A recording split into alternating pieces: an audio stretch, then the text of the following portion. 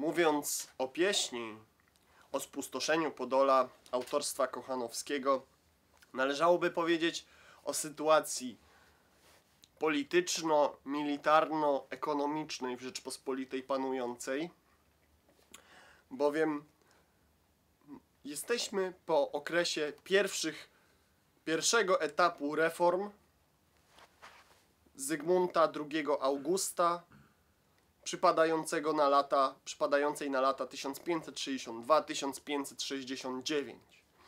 Były to reformy związane z kwartą, uiszczaniem owej składki z e, jednej wysokości jednej czwartej, a de facto jednej piątej na rzecz obronności kraju z królewszczyzn. W momencie, kiedy król umiera w roku 1572, Rzeczpospolita staje w okresie pierwszego bezkrólewia. Był to straszny czas, bowiem pozwalał na swawolę poniekąd szlachty, pozwalał na napady tatarskie i wprowadzał anarchię związaną z uiszczaniem owej kwarty na wojsko. Jeszcze w roku 1570 doszło do reform hetmana Jazłowieckiego, który to zreorganizował armię, będąc jej wielkim obrońcą. Oczywiście mowa tu o wojsku kwarcianym, przekształconym w 1562 na, 60, na 63, mowa tu o Sejmie Piotrkowskim. Przekształcił ją i zreorganizował, tak iż wojsko wówczas liczyło około 3000. Jednakże i taka sytuacja utrzymywała się do 1573 roku. Wiązało się to z zapotrzebowaniem w związku z częstymi napadami czambów tatarskich z trzech kierunków. Tatarzy astrachańscy, Tatarzy krymscy, oczywiście napadający napadający na Podole, na województwo bracławskie, także i kijowskie, ale i na um, województwo ruskie. Bardzo często właśnie Tatarzy zmierzający w stronę Rzeczpospolitej jednak ocierali się o Podole, które bywało pustoszone. W związku z tym konieczne było zabezpieczenie owych granic poprzez stale patrolujące i rozlokowane e, po zamkach, twierdzach e,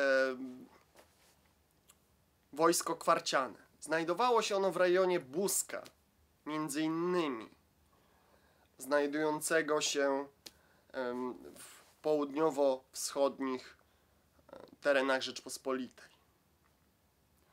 Wraz z rokiem 1574 następuje redukcja wojska do 1000 jazdy i około 550 piechoty. Tutaj różnie źródła podają.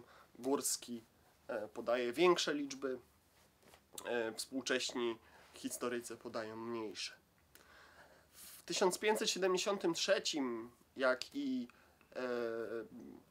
jak i czwartym doszło do zwiększenia żołdu jeździe do 12 zł, w przypadku, w przypadku jazdy lekkiej było to 9 zł, w przypadku piechoty 5 zł. Sprawiało to, iż ochoczo, bardziej ochoczo podchodzono do kwestii obrony granic, ponieważ już za te kwoty, już za ten żołd można było przeżyć kwartał, czy zrekompensować sobie nieznacznie, ale można było straty wojenne.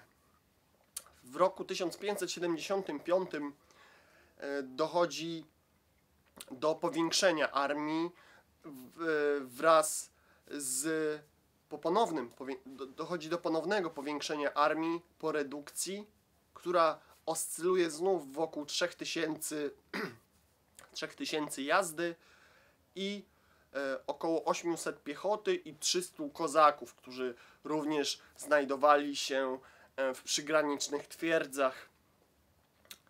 W przygranicznych twierdzach.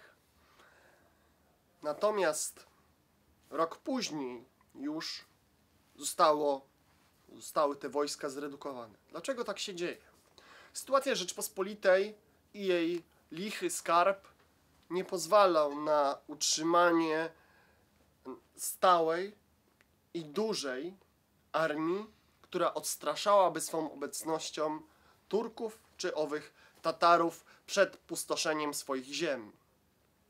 Doraźnie zaciągano wojsko w momencie, w którym dowiadywano się poprzez licznych szpiegów znajdujących się także na Krymie, w Bakczysaraju między innymi, czy w Perekopie, dowiadywano się o atakach, yy, o spodziewanym ataku tatarskim. Wówczas podejmowano próby organizacji armii. Jednak mimo tego, że wydawano na przykład jak to było w roku 1573, wydano 180 tysięcy złotych polskich, co jest olbrzymią kwotą, e, którą zebrano z kwarty na e, wojsko. Oczywiście to nie wystarczyło, to nie wystarczyło. I te 180 tysięcy to, to nie tylko e, kwarta, ale i, ale i starania możnych, prywatnych ale i to nie wystarczyło na obronę granic. W czasie owego bezkrólewia, pierwszego, jak i po ucieczce Walezego drugiego, nie można było liczyć na państwo, który, w którym panowała anarchia w związku z koniecznością podjęcia e, wyborów króla. Dlatego organizowano armię wojewódzką, armię magnacką, która zabezpieczała swoje posiadłości, a summa summarum właśnie tereny Kresów południowo-wschodnich. Zastanówmy się jednak, czy to, o czym pisze Kochanowski, faktycznie mogło mieć miejsce. Czy tak wyglądała owa rzeczywistość.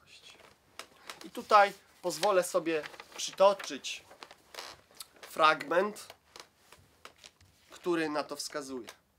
Niewierny Turczyn psy zapuścił swoje. Oczywiście mowa tu o Tatarach, będących lennikiem Imperium Osmańskiego. Zbójce, niestety, jak podmiot liryczny dodaje, zbójce nas wojują, którzy ani miast, ani wsi nie budują. Oczywiście mowa tu o koczowniczym stylu życia Tatarów, po czym wskazuje na to, że nad Niestrem siedząc dzieli łup żałosny. Tak to odnosi się autor do Tatarów pustoszących Podole i oczywiście największą stratą nie są straty materialne. Oczywiście były to straty w ludności bowiem Tatarzy, biorąc na swój arkan takie swoiste lasso, można by rzec, ludzi, brali ich w jasyr. To znaczy oczywiście taką niewolę, gdzie później na targu w Kaffie, między innymi, czy w Konstantynopolu sprzedawano owych, ową ludność. I oczywiście ten wątek jeszcze rozwiniemy w innych odcinkach Wam, kochani, opowiadając o tym, kto jak, kto jakich sław się dorobił, e, stając się niewolnikiem, e, kto za kogo wyszedł, sławna historia córki Popa, oczywiście. O tym Wam jeszcze, kochani, powiemy. Natomiast teraz skupmy się samym, na samym spustoszeniu Podola. W drugiej części pieśni Mowa jest o postulatach. Są to postulaty, które znów pozwolę sobie przytoczyć. Szykujmy talerze na talary, skujmy, a żołnierzowi pieniądze gotujmy. Późno puklerza przebici macają, tarcze niż piersi pierwej nastawają. Wiele wersów z tej pieśni wskazuje na konieczność obrony. Jednak mowa jest tam też o talarach. O jakich talarach? I na gotowość, i na zebranie tak zwanych podarunków. Bowiem Rzeczpospolita, kiedy nie domagała, kiedy sama nie była w stanie zebrać swojego wojska, płaciła tak zwane podarunki. Można to porównać do swoistego haraczu. Jeżeli taki podarunek nie zostałby wpłacony, wówczas czambuły tatarskie zapuszczały się, między innymi na tereny Podola, łupiąc. Taki podarunek był gwarancją, iż w danym sezonie nie dopuszczą się ataku. I jeden podarunek nie był gwarancją jednego roku. Był gwarancją miesiąca, czasem kwartału. Więc takich podarunków trzeba było płacić kilka rocznie. Co oczywiście nadwyrężało i tak słaby budżet Rzeczpospolitej. W momencie, w którym czambuły tatarskie pustoszyły Rzeczpospolitą, wysuwano coraz śmielsze postulaty właśnie, jak sobie z tą sprawą zaradzić.